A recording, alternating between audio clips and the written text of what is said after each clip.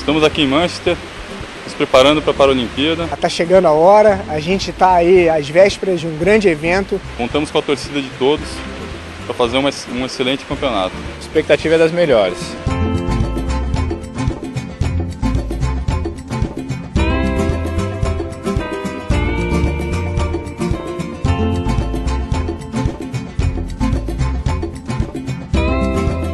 Três da natação, no caso do time de São Paulo, estão aqui.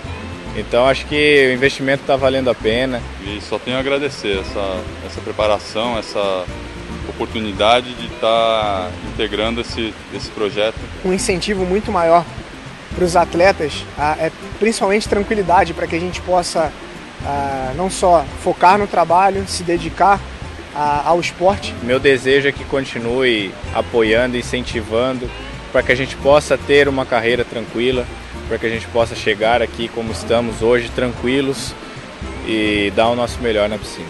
E aguardem que a gente volta, se Deus quiser, com algumas medalhas.